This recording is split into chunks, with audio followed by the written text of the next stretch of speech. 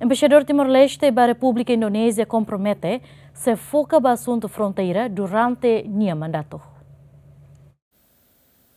Foi ao encontro o primeiro-ministro Kairala Xanana Guzmão, terça-ne, embaixador extraordinário no plenipotenciário Timor-Leste para a República Indonésia, Roberto Soares Satede, durante o mandato se focaliu no assunto fronteira terrestre. Não nakatak Timor-Leste ni a relação com a Indonésia né, uh, cobre assuntos na bem maka um, bot, klean, noite tem que hare em inglês in a very holistic way.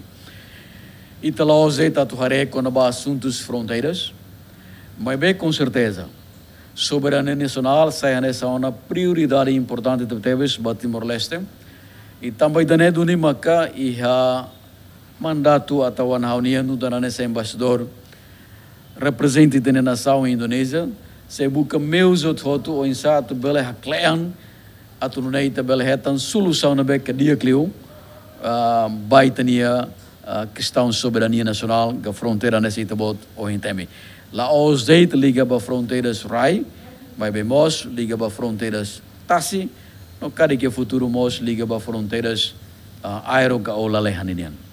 Roberto Soares promete se continua a cooperação bilateral entre Timor-Leste e Indonésia. Também também e a Fulan Hiracliutia e a restauração independência e a Fulan Zulho e tá formalmente formaliza e tem relações diplomáticas, e se cooperação oi oi.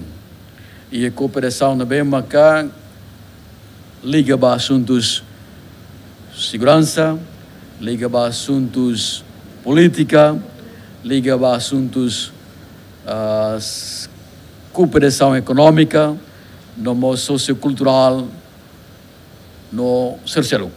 Também, né? Maka hausei halo esforço tomar atu continua na fatem hakleang cooperação idanai e a Soromutune, CEF Governo mostra recomenda ao embaixador extraordinário no plenipotenciário Timor-Leste para a República Indonésia, do o serviço rodiac, no ne assegura interesse nacional timor-lesteniano. Além de né, ministro planeamento e investimento estratégico, Gastão Francisco de Souza halou se encontrou o CEF Governo, onde apresenta relatório de serviço. Emerenciana Martins, Marito da Costa, Giamen.